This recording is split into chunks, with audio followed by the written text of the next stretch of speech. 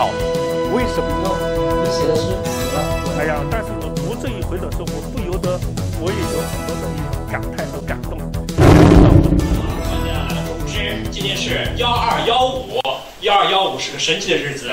刚刚送走了五，早上的陈浩武就来了尔，海德格尔。昨天刚刚见到的啊，于世存老师，他说今天是己亥年啊，跑不过猪这么贵。当然，今天晚上也是一个珍贵的日子，所以说欢迎大家来到今天的知物之哲学读书会第一个海德格尔存在与时间结业典礼。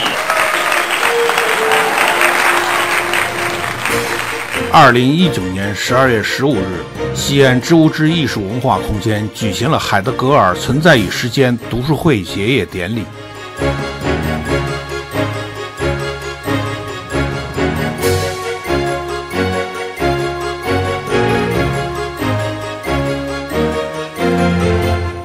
这是一群来自各行各业的人士，他们既非哲学专业，亦无学院背景。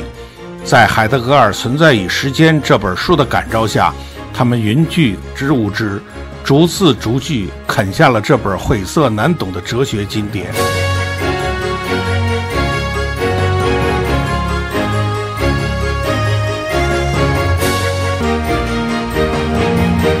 今天，他们欢聚在知物之，对长达四十七次的阅读完成了一次总结，并领取了阅读结业证。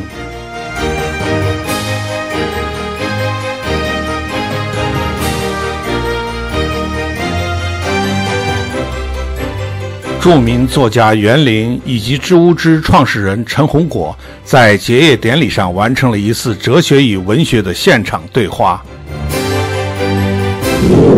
一种将来的一种东西，所以我们才能够重演过去，或者我们才能够通过过去不断的展开自己，不断的去寻找开端。这也就是老子所说的“反者道之动”的意思。所以海德格尔在后期为什么如此的喜欢老子？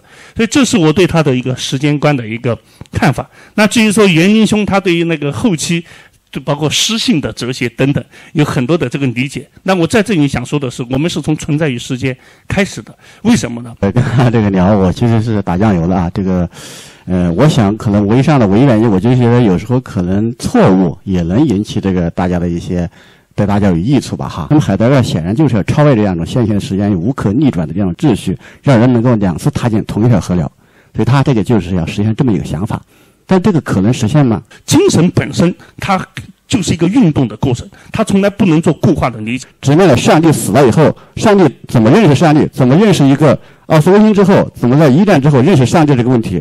所以，当海德格尔说存在是什么的时候，其实很显然，存在这个词也受到黑格尔的影响。我说，这些哲学家来说，很容易引导人们就是失去行动能力，失去现实中的思辨能力，是人类现代性走向科技主义以后必然面临的一个有限性和虚无主义的一个问题。呃，这是我对海德格尔的看法，就是我。不太喜欢海德格尔，不管是借助亚里士多德，还是柏拉图、奥古斯丁，还是阿奎那，他们都是一种超越性的。像柏拉图或者亚里士多德，他们是明智的。上帝本身，所以上帝是一个非常必要的假设。但是在这康德的逻辑里面，上帝已经成为了从第一位成为了第二位的东西。其实黑格尔对康德是一个反驳。我今天越来越喜欢黑格尔。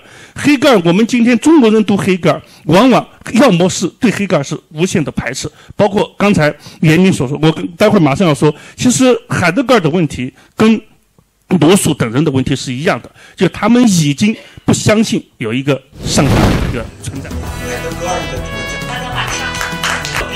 知物之已经举办过心理学、红楼梦、哲学、教育等专题读书会，这样的读书会已被越来越多的人所接受，也已成就为知无知的文化品牌特色。